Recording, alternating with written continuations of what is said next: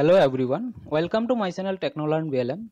Today in this video we are going to learn about implementing the half adder circuit in Xilinx software using VHDL language. So for that without wasting time just let's get started. So now from your desktop PC open up the Xilinx ISE 9.2i software or whatever version you have it does not matter just open it up here I am opening my one. And wait for a moment.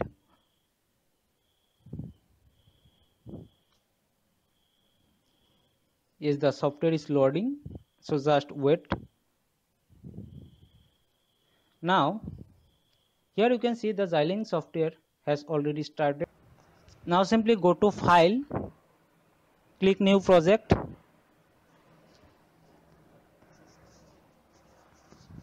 give the name of the project. I am giving it as half adder.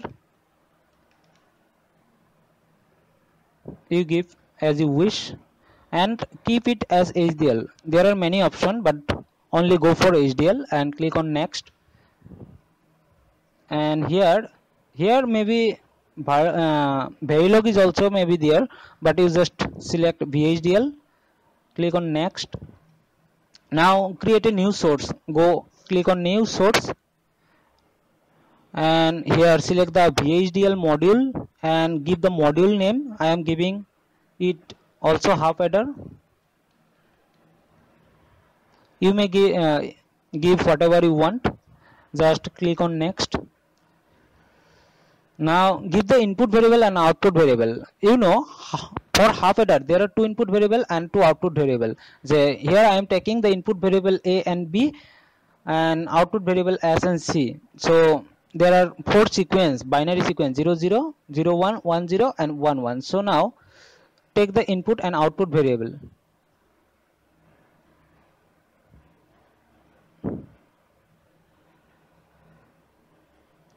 So I am taking it as input variable as a and b and the output variables as s and c. The output variable select as out only. So now click on next and finish. Now next next finish finally. And wait for a little. Yes here you can see the codes of this project. So now go to the begin option begin and end. Here you should use process. After begin you use process. Process statement. And as the arguments pass the input variables. Since here input variables is a and b so i am passing just a and b.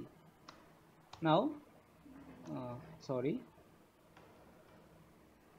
actually what does the process statement does? Actually it's the codes will write for the binary sequence inside this process only. And this process statement only states that if there is a sense in the values of a and b that is the input variable then there will also be the sense in the values of s and c. That is the output variable for half adder so just now process process has been created and now begin the process. So write begin b g i n here.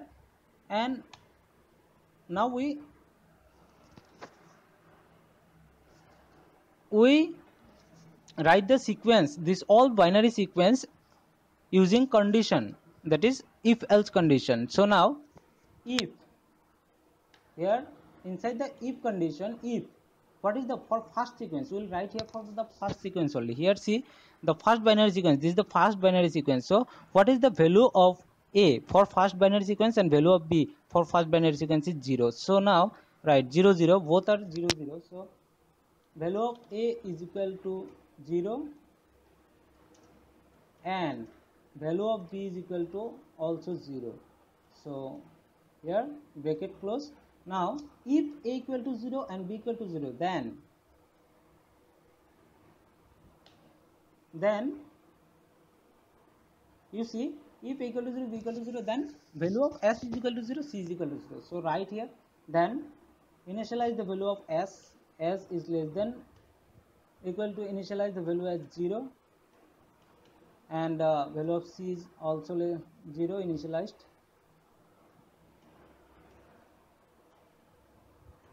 so 0 this this code you see from the if to this is for only the first binary sequence. Now write for second binary sequence also. Here else if will use else if a l s i f. Else if the value of a equal to 0 just copy it down. Control c and just paste it paste it here. Control v the see for second binary sequence what is the value of a and b? 0 and 1 and the output variable is output values is 1 and 0 so for 0 and 1 so it is 0 and b is 1 b is 1 then the value of SNC what is the value of SNC just copy it down here and just uh, and value of s is equal to 1 and c is equal to 0 now for third sequence here you see the third sequence. Third sequence this is the third sequence. This is the third sequence. So here a is 1 b is 0 s is 1 c is 0 so for the value of a 1 and b 0 for the values of a n just copy down here directly for third. Control c and paste it here. Control v. Now here you see the value of a is 1 and values of b is 0 now what is the value of s? S uh, as is also 1 here you see. S is 1 and c is 0 so now for the third binary sequence fourth binary sequence the last binary sequence. So copy it and paste it. So what is the fourth binary sequence? That is 1101 so for the values of a and b 1 and b is equal to 1 the values of s is equal to 0 and value of c equal to 1 so this is the almost program is almost completed but here we have to end the if. Since we have started if here so we have to end if. So write end if and also and also the process. We have started the process here. We have started the process here. So we have to end the process. So write here end process. And process. So give a semicolon here. Oh sorry. So the program is completed. Now check the syntax and save it. So save it. Just clicking on uh, clicking on this. Now go to implement design synthesize xst and check the syntax.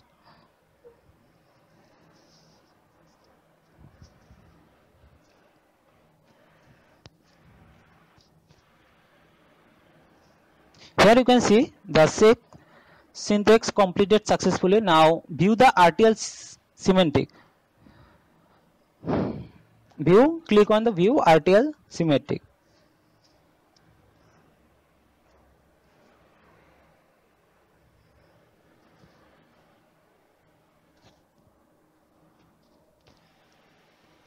here you can see the symmetric view that is the half adder this is the overall design of half adder. If you want to see the internal design also then just double click on it and here you see on double clicking you will see the internal designs using OR AND and NOT gates. So this is the internal design. So you can and just close it. After closing the RTL view now. Go to the project. Click on new source. And select the test bench waveform. Now give a name. I am giving it as half adder half adder TB half adder underscore TB now after giving the name click on next. And yes uh, click on next. Finish. Now click on the com uh, combinatorial and click finish. So now set the values of a and b. That is the input values. So first one is 0 0 second one is 0 1 third one is the 1 0 fourth one is 1 1 again you set it 0 0 0 1 1 0 and 1 1 so after setting this up save this project save. And now go to the processes. Uh, here go for sources for now click on it and select the behavioral simulation. And then here in the process dialog box just click on this Xilinx ISE simulator and here double click on this simulate behavioral model. Wait for the wait for a little and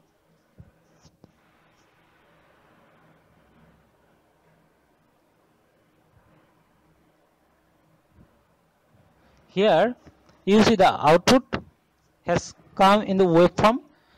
And this is you can see here for the input variable a b 0 0 the output variable is 0 0 for 0 1 for a 0 and b 1 this is s equal to 1 and c equal to 0 uh, for this 1 and 0 1 0 and for 1 1 finally for 1 1 this is 0 1 this is the output we needed for thank you for watching the video if you like the video then give a thumbs up comments below and share the video if you are new to my channel then do subscribe it and press the bell icon for getting updates of my new videos.